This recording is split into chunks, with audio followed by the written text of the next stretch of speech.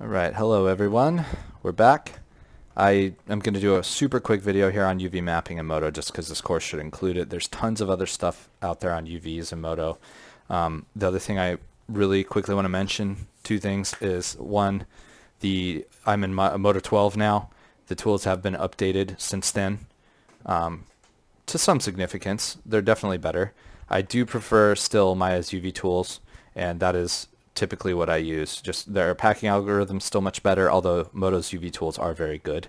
Uh, but let's just go ahead and jam this out real quick. So I have a very simple model that I'm going to unwrap here, and the stuff would be arrayed around, but I would unwrap it first and then duplicate it around, so we can do that momentarily. So first thing is let's get out of my custom tab here, and let's go into the standard UV tool tab. Okay. Chances are you'll come in here and you won't see anything in the UV window. That's because you don't have a map selected. Now you can do that over here in your Lists tab under UV Maps. You can do it under the new drop-down that they have here in the UV Editor window. Any UV Editor window, by the way, no matter which uh, layout you're in. Or up here at the top, there's a drop-down. You can make a new one. You can select none, or you can select your UV map.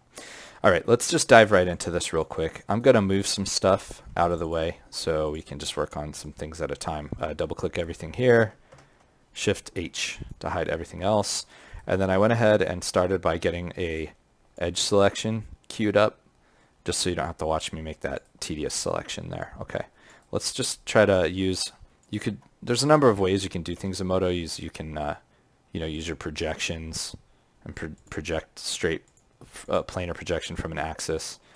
Um, that has its place sometimes never have used project from view. Some people like the peeler. I don't use it much. Rectangle is extremely useful. There's a lot of good tools here, and there's orientation and UV alignment tools here as well. But the, the biggest one is the unwrap tool. So for that, we need an edge selection, which I've made, and we're just going to click unwrap. All right. Uh, it's done a pretty poor job uh, right out the hole. Also, I should mention the first time you run the tool, it's going to have like one iteration or something um, which does nothing. You definitely want to crank it up over 200 somewhere. Personally, I like it up at 1000. And uh, the gaps has to do with how much space in between your shells it attempts to put. And you can toy around with you know the axes that it's projecting from. Um, also bear in mind it's when I use this unwrap tool that it is unwrapping all selected polygons, which in this case is all visible polygons. Okay. So just keep that in mind and you can change your method here. It's not doing a lot for us this time. Let's try to relax this shell and see what happens. And if, if so, we may need to make another cut, which most likely we will, but let's let's cross that bridge when we come to it, okay? So uh, select the, the polygons in question, because that's what we want the tool to affect, and let's try the relax tool. Um, and you can change your methods here too. Adaptive a lot of times gets you something very nice. You definitely want another thousand iterations. Um, in this case, it doesn't really know what to do with this shell. I, I probably need to cut cut this thing off here. Um, it seems to be confused. Unfortunately, I can't double click this edge loop because if I do, Modo will get confused and put a bunch of junk edges in. And if I undo, you don't really get it back. You don't get back to the selection that you had. So I have to just single click these edges, unfortunately because otherwise I'd have a bunch of junk edges that it selects running everywhere and I would have to go clean that selection up and it would take longer than what I'm doing now. So let's cut this off and see what happens. We run the un unwrap tool again. All right, much better, much flatter result. It's still not round, uh, which again just goes back to the fact that their unwrapping algorithm isn't as advanced as some others. Uh, Maya would probably know that this is this shell is a perfect circle and it would flatten it out better than this. This isn't that bad. Let's try again to relax it. So we'll grab just this shell and we will relax. Whoops. I think I have it set to auto activate. Yeah. And try adaptive. Yeah, uh, nudged it in a little bit. It's hard to say. Let's hide all other polys because I want to see. Actually, we don't need to do that. I want to see what my stretching actually looks like here. So I have, if this isn't on for you, show distortion will give you an idea of what your, what your texel density looks like. It's also here under options in the UV window. the green is what you want to see. Uh, blue means it's a little stretched. Red means it's a little squashed. This is pretty darn green here, even though it's not round and we know it should be. This is still a pretty flat shell and it's oriented nicely, so I'm going to leave that. So let's just scale it down a little bit. We'll deal with texel density later, and I'm just going to move it off to the side, and we'll work on another piece. All right, so in our 3D view, let's go back to our edge selection. Well, actually, let's let's also deal with let's also deal with this guy. So I'm gonna, which shell is that? It's this one. So now let's hide all others because I don't want to mess up that shell that we that we like. And I'll put a seam in it right here. We'll unwrap and bam, I mean, that is perfectly rectangle. So, I mean, like I say, there's some things that Modo really does, the UV tools really do get right. Now let's select an edge in this view and use one of our orientation uh, aligned to the horizontal axis. There we go. One of these. There it is. They also have really nice shell snapping features that'll snap it to different quadrants of the grid. So you can, you know, select your shells and, uh, you know, have it like snap. Um, I have used these.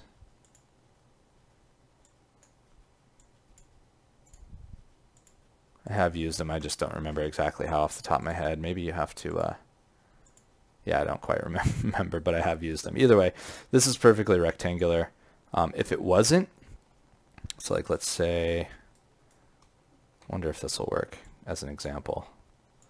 Let's say it was like this. You could run your rectangle tool on it and it'll straighten it out. Okay, so rectangle is for things that you know, well in fact, it's not perfectly. There's a hitch in it right there. So let's run our rectangle on it. You can tell it to pack it. Um, you could tell it uniform spans too, which is handy. Let's turn on uniform X and Y spans. And we're good to go. Um, really would only be X spans, I think, but yeah, since it's there's only two edges on the top and bottom. So now it's packed it. it I told it to give it a 20% gap, so uh, their packing tools are built into other tools as well. So anyway, that shell's ready to go, perfectly rectangular. Let's unhide them all. Let's see if we can actually, let's look at these guys. I think they're actually pretty flat as they're going to get, but let's just try to run a relax on them. I think that's an adaptive relax, which is why that took so long. Yeah, we're not going to get anything more from this. If I scale up, you can see that they're fairly green and there's just a little bit of junk on the sides, but uh, those are flat as they should be. We're going to do the same thing with these ones. We're going to grab a couple edges. Whoops, not those. Not that. And we're going to align them to an axis. And again, we're not going to worry about we're not going to worry about texel density just yet. These these ones are tricky because technically, like if we're gonna have a texture with some some kind of like brushed metal or something, they would need to be oriented the same way that they are to the model. See, so that the brushing can go across it. Um, I will just mention that if if if it's not gonna have that, then you don't need to worry about it, and it will always be better to have them be straight to one axis for the sake of baking your normal maps. The straighter your especially your shell edges, but any interior angles are, the cleaner your bake's going to be. And you can use these alignment tools here if you if you hold Alt. So what's nice is I can select, uh, the way it should work is I can select multiple edge loops like this, and I can just hit the button, and it'll put everything to the furthest left selection, but if I hold Alt, it should do them. The idea is that it will do them uh, in in rows but uh, it's having a hard time figuring that out right now, so we'll just say forget about it. But you see how it's straightening out uh, that, that edge row there. Alright, let's just move these off to the side. Probably hold control, rotate them up, up and down. Let's go to the next piece. Let's just do this tube real quick. I'm just going to hide everything else. We'll put a seam along the down the back side of it I think this is uh, sometimes where people use the peeler. Um, I haven't. Whoops. Let's leave the tool on. Angle based gets us a better result on this guy. Um, I haven't really used the peeler. Uh, I think I poked my head in there once and it didn't do anything for me, so I decided, nah, I don't need it. I have other methods of doing things. And also we can rectangle this guy. And we will not have uniform spans because they're not uniform on the model. And boop, that'll rectangle that guy out for us. Shrink it down a little bit, it's a little bit big. Move it off over here. One, hide everything. Let's just kind of systematically hide everything we've, uh, whoops. Oh, we'll hide everything that we've got done and we'll just move through it like that. It'll be much easier. All right, I'll put a seam on the back of this guy too. This one's going to be a little trickier just because of the nature of uh, what's going on here. Yeah, in fact, this one, let's see if we can get to the selection a little bit faster. I'm going to grow, shift up arrow.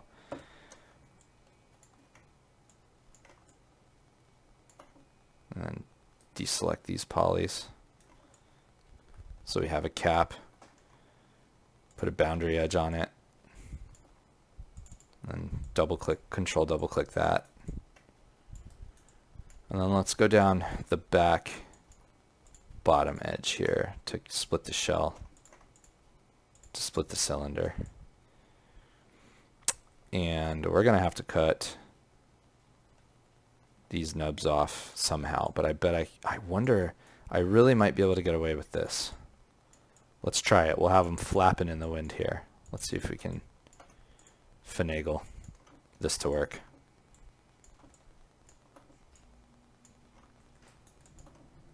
We're going to cut, these are where I want all my seams. I'm sure I missed something. Let's just take a look. Let's run the UV tool. Okay, unwrap. Not too shabby, not too shabby at all as a matter of fact. So see I have my main cylindrical shell here. Let's straighten that out so we can see what we're doing. In fact, this is all this junk out of the way um, left bracket to invert selection. I'll move that just out of the way. Alright, this all looks pretty good. That's pretty flat. We're going to try to relax it anyway. I found it's always good to try. See, it helps a little bit. It's kind of helping a bit conformal. Let's try the adaptive method.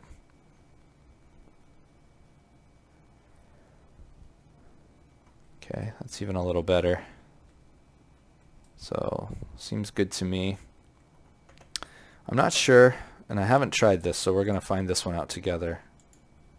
But let's see if we can square these ones off without having to do it manually.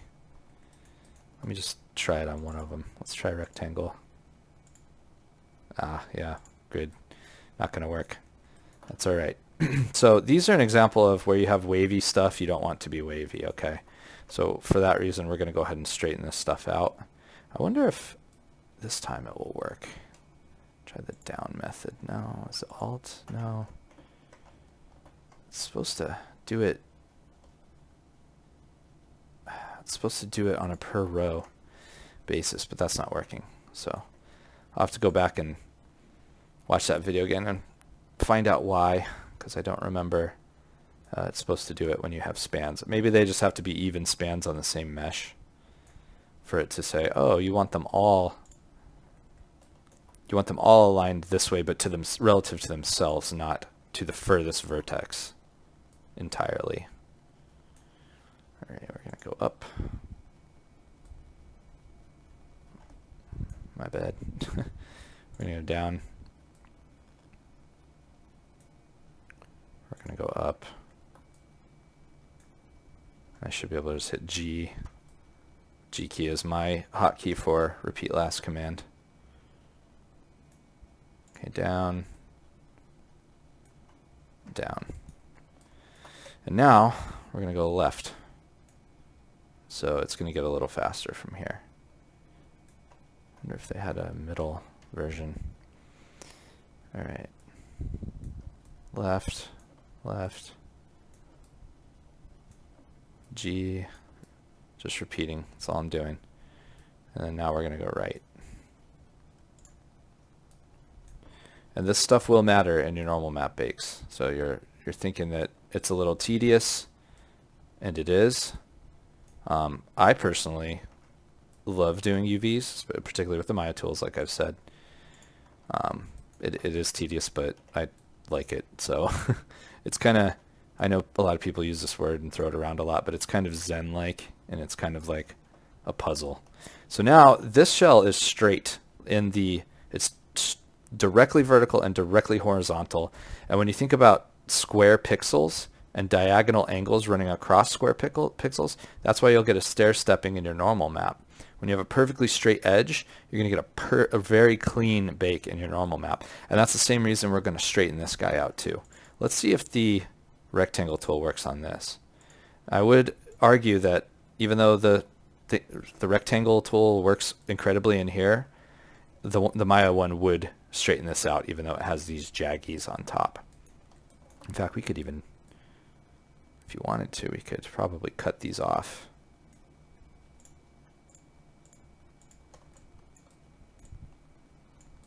We could try cutting rectangle and then pasting them back. Oh, nope, didn't like that. I thought I was being clever, but not so. Let's just go into ver vertex mode and straighten this guy out too. In fact, we can just double click this edge now. Oh, not that one. Dang it, every time you think you're going to get a shortcut going, it's thwarting me here. Just on those inner edges. Alright, let's start going to the right.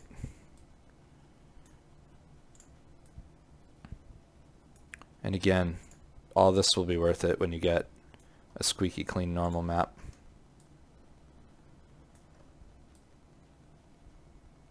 G key, G key, and now let's go, let's go down.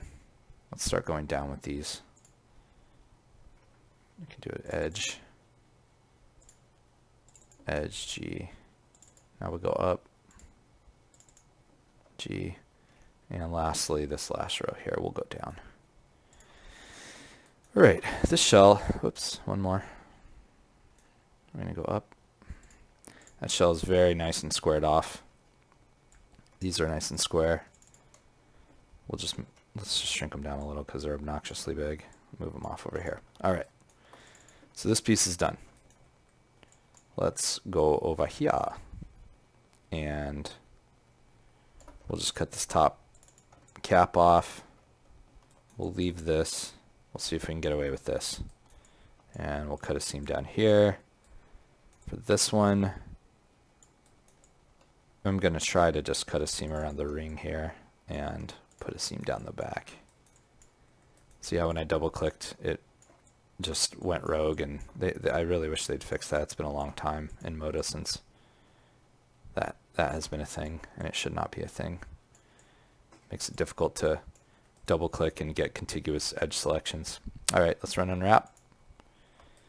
And we'll worry about these little bits here in a minute. This looks pretty good. This straightened out very nicely. Really happy about that.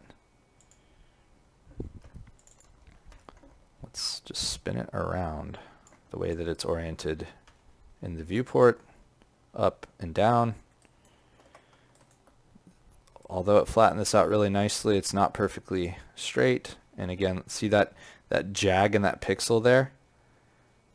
That's how you know it's not straight, and that's how you know you're going to get jaggy in your normal map unless you have insane resolution. These are all ways that you can, you know, when people in their portfolio, they're running 4K maps on everything. Yes, but in game, that's not the case. You can't do that. And you need the best looking normal maps possible. Let's try to relax this piece a little bit. It's kind of cockeyed. Let's see if we can do something for it. That did something for it. What's conformal? No, it's there's a little bit of a discrepancy in the texel density there. Let's do the adaptive method. So if I scale this down a little bit, you'll see the let's try it again. Let's let's look at it now that I can see my colors. Relax. Yeah, the adaptive method gets us a more ideal result towards the middle particularly. And this light blue, don't worry about that. There's going to be some of that. That's just how it is. Let's go down. See, there's a, a little bit of a discrepancy there.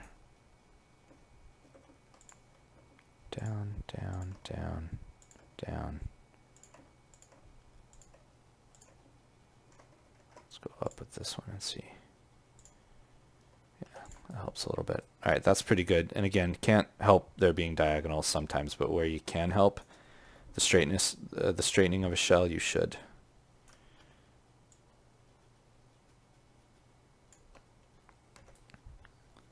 I can manually move these out and kind of help it a little bit. All right, this guy is a perfect candidate for our handy rectangle tool, even though that is technically the way I cut this shell. Um, let's just rectangle it. What I really need to do is turn that pack off. There you go. Silly. All right. And this guy, I don't really need to relax that. That's pretty round. That's not going to cause anybody any problems. Let's move this off. What do we got here? Oh yeah, this guy. Yeah, this one, you know, it's like not really worth it. You know, what I'd do is probably, it's not worth it to cut an extra shell here and put a seam on that. Again, unless you're having some kind of brushed metal or something, some kind of linear texture that has straight details, you, you know, then you need a straight shell or else you're not going to get it to wrap around that cylindrical shape. But I would just probably just like try to leave this, this detail so small. And if I could get away from uh, adding more UV shells, then that would be my my go-to solution rather than, you know, I, if I could avoid even putting, see there we go, that's what you want it to look like. If, if I could avoid putting a brushed metal texture, some kind of linear texture on it just to avoid having an additional seam and shell, then I would. All right, let's, we're gonna, I, what I should have done here, and I could do, but I think I individually manipulated these a little bit, so they wouldn't line up with the high poly. It, in fact, you know what? No, we're not going to worry about the high poly in this course. We'll do that in the next one. So I am going to just unwrap one and then we'll array it back around once it's unwrapped and then we'll pack it. So on this guy, this one you will have to break the shell off here. Put a seam on that. Unfortunately, these have to come off as well. Let's see now. What, watch what happens when I double click. See? So let's just get the, the silly trickier selections first so I can use my double click. Well, if, if we were going to do that, we'd have to do this, this, this, this, and this. Okay. Now I have my double clicks out of the way because once you start adding non-contiguous edge loops to your selection and then you go to double click another thing, that's when it freaks out. All right, let's see what this does. Unwrap tool. It's Control A to find it. Or I'm sorry, Shift A. That looks pretty good, actually. Um, it's big, and that's why you're getting the blue. It's really big. It's saying, oh, whoa, whoa. Your texel density in world space is like much smaller than that. So I want to see my colors, so I'm going to scale it down a little bit. And then, oops, which one is it? There it is. Use my rectangle straighten that guy out. And then these guys, that actually, I know there's a lot of colors on it, but they look pretty good. I'm going to relax them though.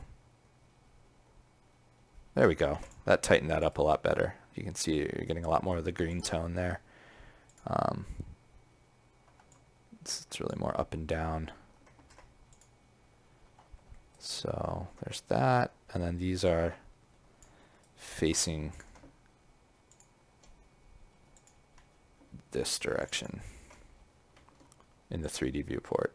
And I'm holding control to angle snap my rotate tool, so I'm getting, you know, even increments.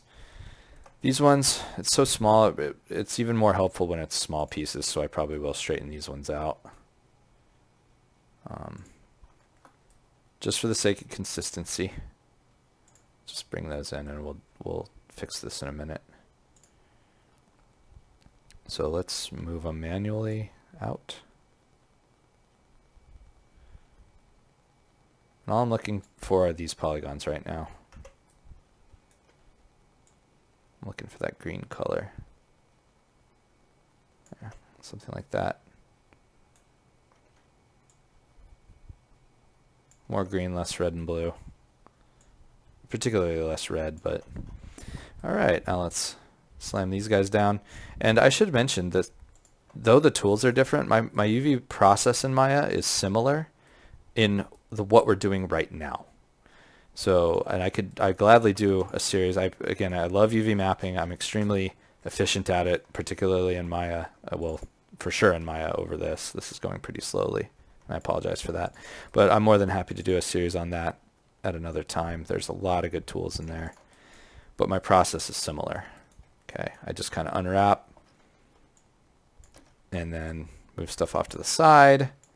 And then we'll hit U to unhide everything. Everything has nice flat shells. And also I've achieved the rotation, the orientation of things that I want. That's key to uh, the process I'm doing here.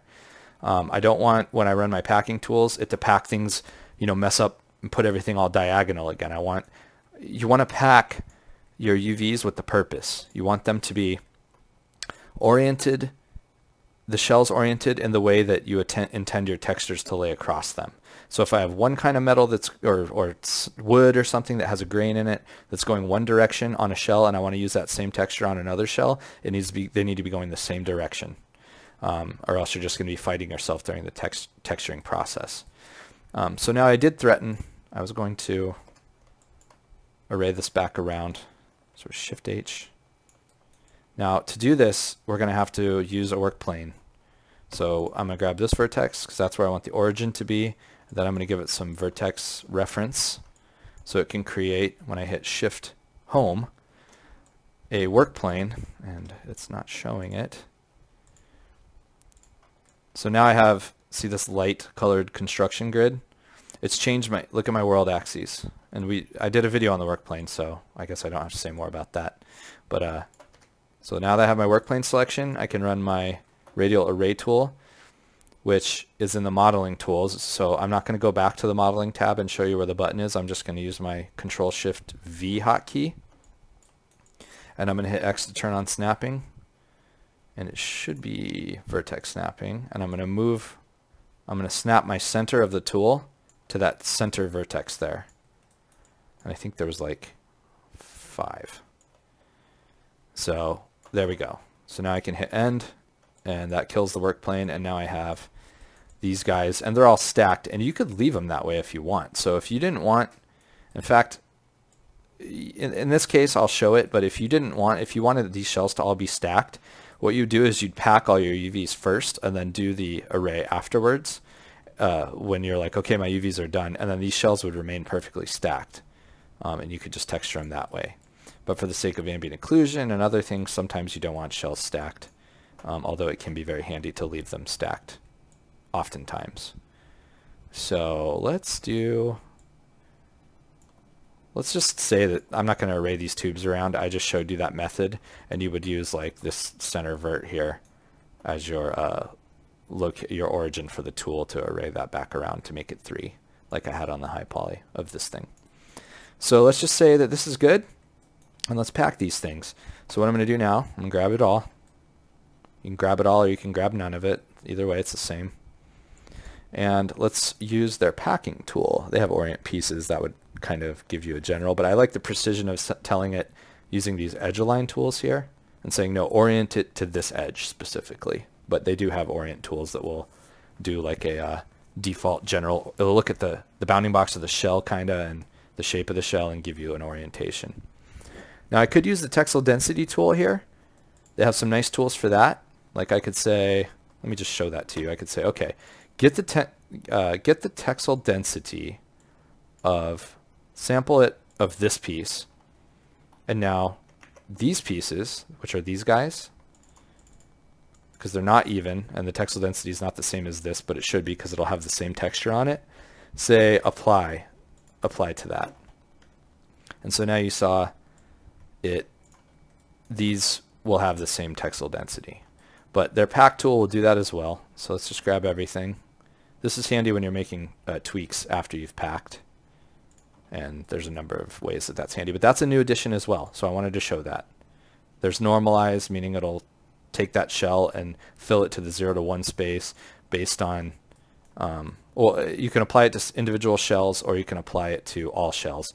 And so what that did was it took and made the texel density relative to all shells and applied it across them all. So that's useful. That's basically what the pack tool is going to do here for me because I'm going to tell it to not to orient but stretch and that what that's going to do is it's going to normalize our shells um, to each other.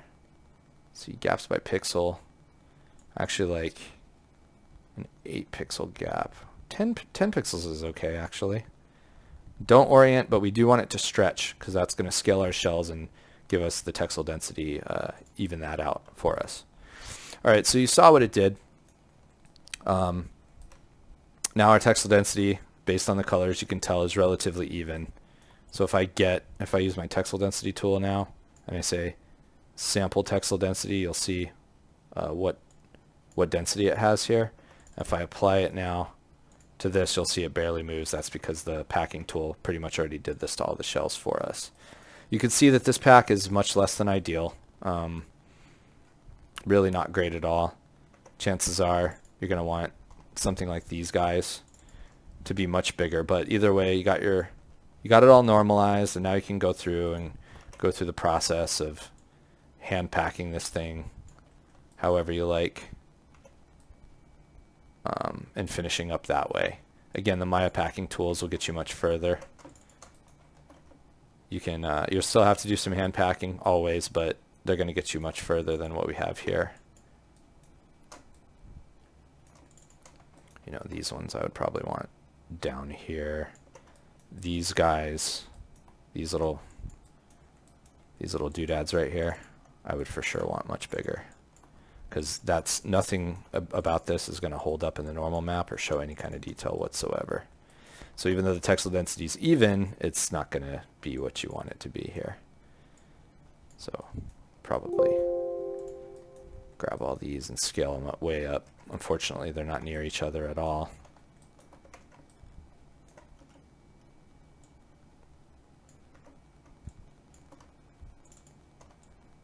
Don't click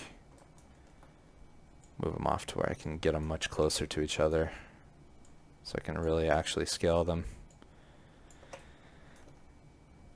Yeah, like I said, this process, it is similar in Maya, but their, their packer will get you much, much, much further, much further. And uh, something like this asset is already kind of strange. That's why it's was struggling to pack it because you have something like this long strip that goes from one side of the UV 0 to 1 space to the other, um, which is why I really couldn't scale this shell up. What I'd have to do, to be honest, let's try let's try this actually. Let's break this shell into two. So let me put a cut in it. Um, let's split it there. So you just saw I just, darn it.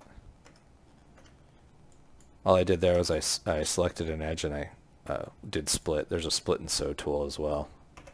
But I just put a manual split in it right there. So now let's see if we can run the pack and it'll just do a little bit better of a job here. Yeah, see that's much better. That shell was too long so it was blocking everything. Now that being said, I would still go in and scale these little guys up. See how this big hole in the middle of this shell, it didn't pack anything in there? This is wasted space. You can very easily, if you leave a couple pixels, you know, 8, 10 pixels, 8 is more than enough in here, uh, you can pack all kinds of stuff in here, and then that gives you more room to scale up other shells. So uh, this is something Maya's packer will do, put things in holes um, if it needs to, to optimize the space. So I would definitely take advantage of that. Like again, I would I'd grab these guys and, you know, we can even do this. We could even pack these. Whoops. Let's shift hide all the rest. And now let me move it over here.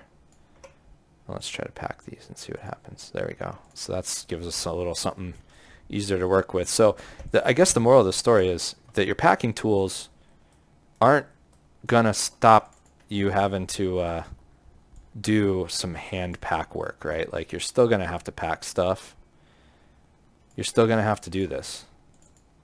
So you got to learn to love it because that's just part of the job, you know? Got to pack UVs. It's just the way it is. You could even do something like that. Personally, I'd move it down and over. Something like this. You know, these little guys. What were these guys? Oh, that piece. Yeah, it's probably fine. And then you can, you know, from here you can scale these down a lot and start to fit them in. But they're going to be still five times bigger than they were, right? Like, they're going to be way bigger than they were. And here's here's a good example. Let's use some of the tools that we have available to us and try to see what we can get away with.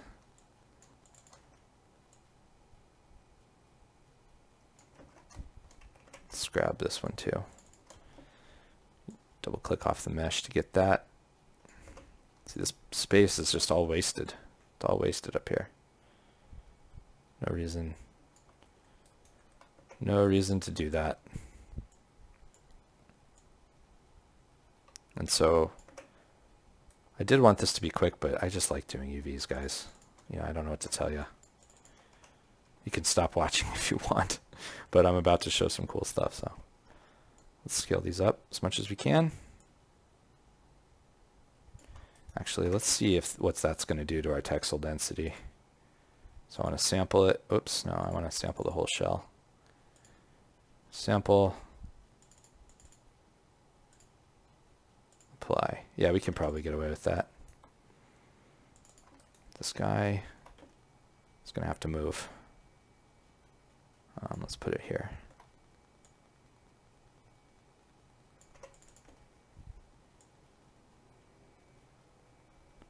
Something like this. All right, now grab these shells and use your texel density tool and say, you know, apply either way. And now these this whole piece is matching up, right? Like this is all the same now, you know. So the texel density of the thing to itself is the same.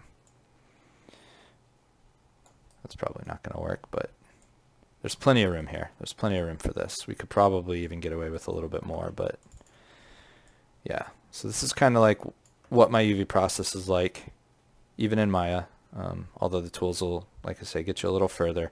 UV tools in Modo are very good. Very, very good, though, still. There's a lot more here than there was even just a few releases ago. Um, they've done a lot. And then just the fact that Modo is just so fun to use um, makes me want to do my UVs in here more, I would say. Um, if the unfold flatten things out just a little better for me and the packer was a little more powerful, really I, I would probably just do my UVs in here and not really do anything in Maya anymore if I could help it. So you see where I'm going with this. We're just going to keep, we're just going to use all this unused space. Um, you know, at the end of the day, you can't just auto pack stuff most of the time. You got to use them as a tool, which is what they are. And then the sweat of your brow will, will do the rest. And there's always room in a UV layout, I find. There's always room for something. There's still, uh, there's tons of space in this thing. I, I typically like my packs to be tighter than this, but again, I'm going to keep it short here. Tons of space. We could scale, we could go in and find another piece that we like and, you know, probably scale it up a bit more. This guy somehow, you know, we could, we could go in and, you know, I'd start doing things like this. Well, this one's part of this one, so that needs to match up. But anyway, you get the gist. So let's go ahead and let's get this in here first.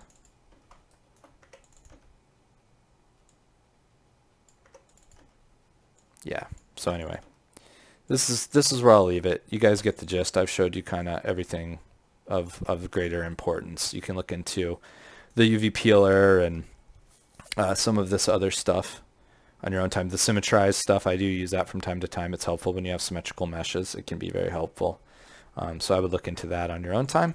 But we'll go ahead and leave it here. This is a pretty okay pack, and it's definitely going to get us a nice texture bake.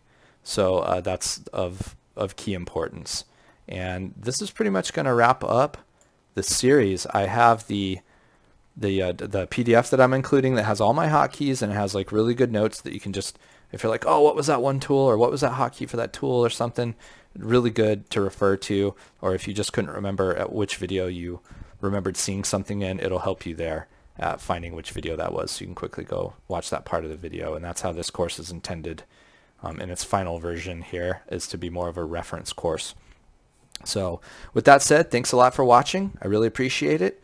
Again, I'm working on a, a more project-based uh, tutorial series that shows my production workflow using the round edge shader.